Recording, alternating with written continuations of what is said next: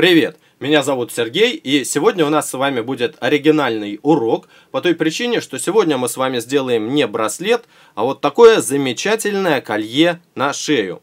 Будет очень здорово, если вы сделаете в этой же цветовой схеме, по этой же схеме не только колье, но и браслет. Тогда у вас будет целый комплект сочетающихся друг с другом украшений. Это колье вы можете делать как из резинок двух цветов, как, например, здесь я использовал, так вы можете и чередовать цвета, которые находятся в центре, а основной, например, цвет использовать зеленый. И именно такой браслет мы с вами в этом уроке и будем делать. Еще хотел бы сказать, что я решил этот э, браслет или колье сделать из пупырчатых вот таких резинок, потому что, на мой взгляд, они придают объем этому колье и как будто бы оно получается сделано из бисера. Если у вас нет пупырчатых резинок, то вы, конечно же, можете сделать его и из обычных резинок. Итак, давайте приступим.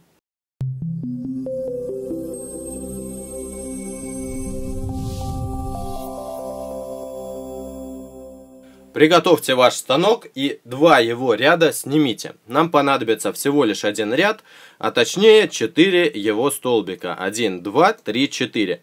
Открытые стороны столбиков должны смотреть вправо. Теперь возьмите резинки того цвета, который у вас будет в качестве основного использоваться. У меня это зеленый цвет. Первый столбик пока пропускаем и накидываем резинку зеленого цвета на второй и третий столбик. При накидывании прокручиваем восьмеркой по центру и у нас получается перекрестие.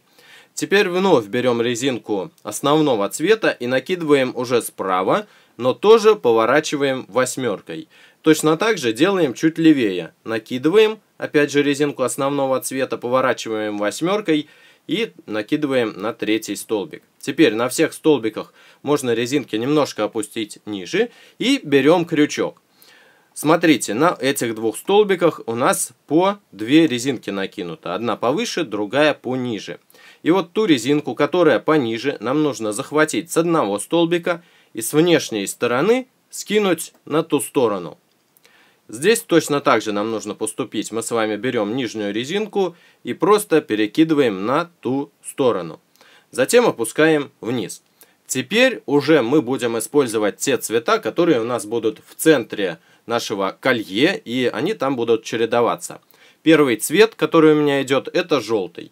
Э, я этот цвет накидываю по центру, и после того, как я резинку накинул по центру, мне нужно снять нижние резиночки с этих столбиков. Вот одна нижняя, мы с вами ее снимаем и накидываем на ту сторону станка. И здесь тоже отсюда снимаем и накидываем на ту сторону станка.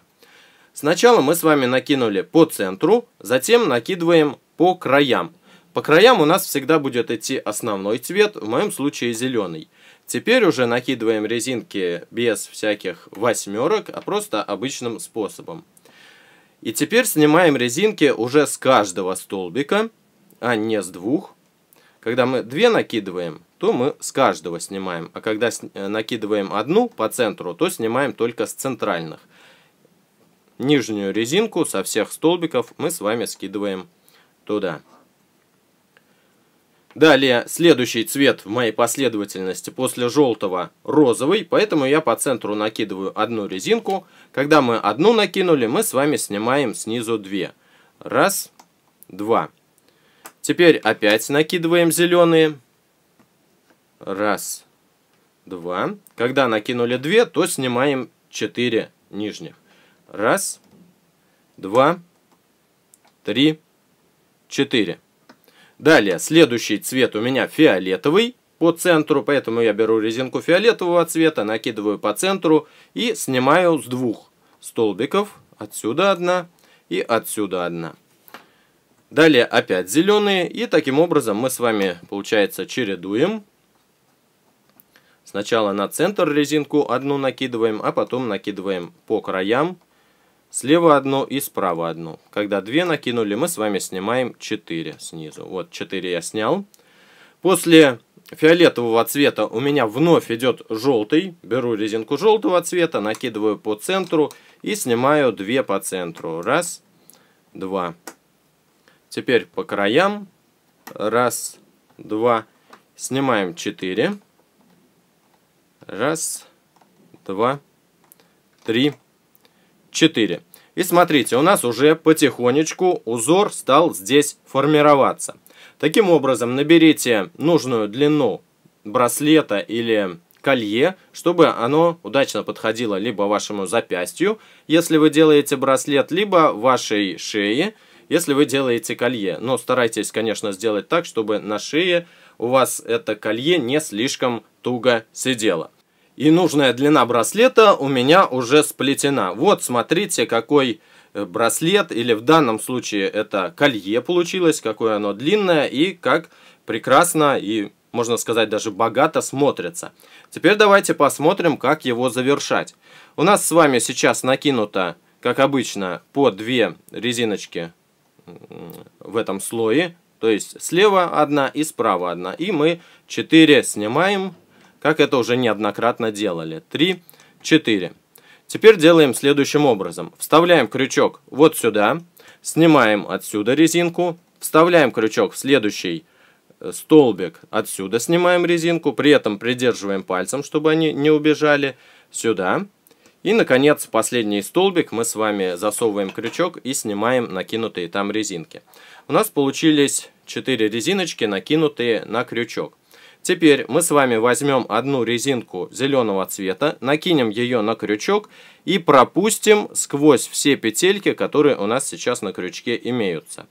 И накинем вторую часть этой резинки обратно на крючок. Готово. Теперь мы с вами можем приготовить застежку или клипсу, смотря кто как ее называет. Здесь, конечно, лучше всего подойдет зеленая клипса.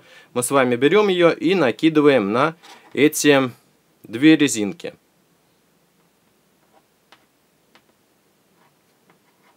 Для того, чтобы было проще накинуть, я возьму станок и накину сюда эти резинки, чтобы получить большее натяжение, потому что на пупырчатых резинках немножко сложнее накидываются застежки. Ну, а вот так гораздо проще. Накинули две, отлично. И теперь давайте посмотрим с обратной стороны. Мы, когда начинали плести этот браслет, то накидывали по центру резинку зеленого цвета, и перекручивали ее восьмеркой. И вот вам нужно как раз эту резиночку здесь и найти. Вот у меня она здесь хорошо видна. Я ее тоже накину на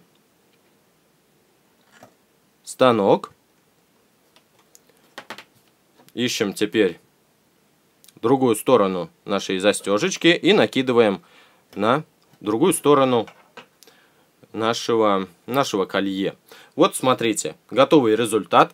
Если у вас нет подвесок, то вы, в принципе, уже можете использовать такое колье, э, носить его без всяких подвесок. Если же у вас есть подвески, я приготовил несколько штучек, которые по цвету сюда неплохо подходят, зеленоватого оттенка.